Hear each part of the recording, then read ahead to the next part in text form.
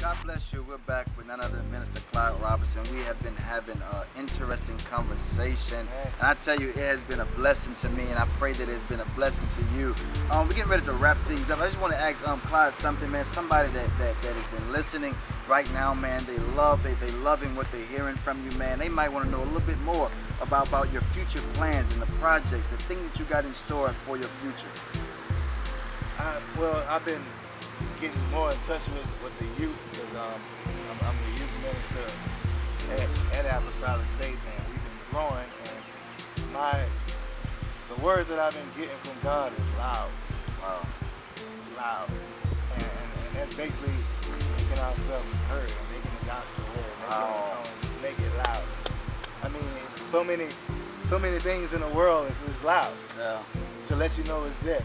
Wow. It's loud. It, it, different sounds you, you hear. You, I, if my mom calls me, I don't have to say, "Is this my mother?" I That's it. That's sound. it. That's it. And, and and it's just the point of just being loud for the kingdom of God. Wow, I like that. I like that. I like that. The question, listen, th- th- th- you- you just sparked the fire, because because I believe. Would you say? Would you say because of how loud the world has been, do you think that it has silenced the church, and do you think that it's now time?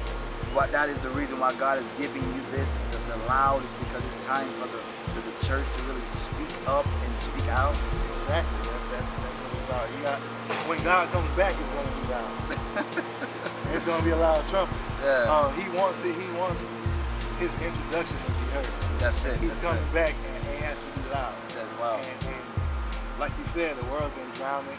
It's been drowning out the church. But thing I realized in Scripture, whenever the enemy would come to attack a nation, they would kill everything, Wow. from the men, women, and the children. The, the reason they killed the children is because they didn't want an army to grow up The seed. and avenge I like that.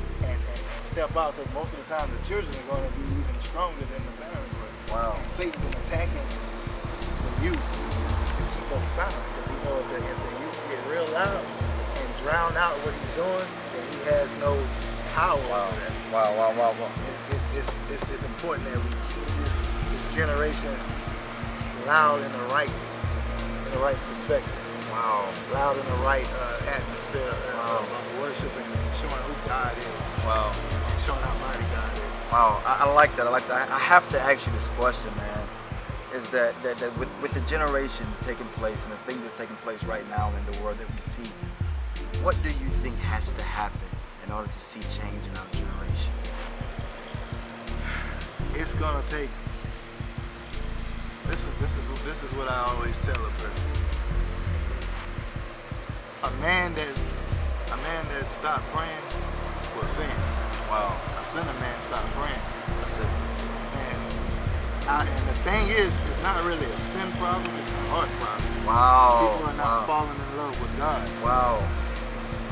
The problem is, you ever been I've been in a relationship with a, with a female and I really didn't love her. I really didn't like her. It. I just I was with her because everybody say, y'all y'all look y'all look good together. Yeah. Y'all man, y'all stay together. See, y'all y'all look nice together. People treat God like that. Wow. They come to the house of God just because they just look good. Wow. They really, wow. heart really not Wow. in it. The form of godliness. Exactly. So they heart really not in it. They're just doing it because it looks good. It looks nice. Routine. Or just uh, until something better comes along. Wow. But when we when we actually realize what type of God we have and how mighty He is, and we fall in love with Him, Yeah. you don't want to hurt somebody you're in love with. Wow. And so when the generation right now realize that their soul is in love with God, and once they get their mind and their soul in, in one and realize that this is what I need, I'm in love with this, they become in love with God and what who He is, and just because He is God, things are beginning to change. The heart is, the Bible says that the, the, the mind is sick, and it says that no man knows the heart. That's it. That's Who, who can know it? But when, when we place our life and our heart in God, things are beginning to change. Wow, that's good. That's good. That's good. Listen, somebody out there is listening right now. They want to get in contact with you. They wanna. They wanna. They wanna talk to you some more. They wanna. They, they might. Everybody want to get you to come preach or play at the church. What are some? Give, mean, give, give the people your contact information. Uh, you can you can email me at cjandjesus at yahoo.com or you can just call me on my cell phone. I'm not too big anybody can call me at 985 294 3430 anytime. All right, good good. But but before before we end this broadcast, I want to give him the final thought.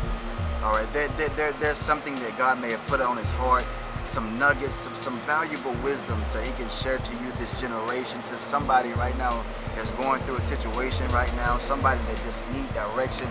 At this time, I'm just gonna allow Minister Clyde Robinson to have the, have his chance to be able to impart some wisdom and knowledge in your life. I'm gonna just give you a, a quick nugget because we done said a lot already.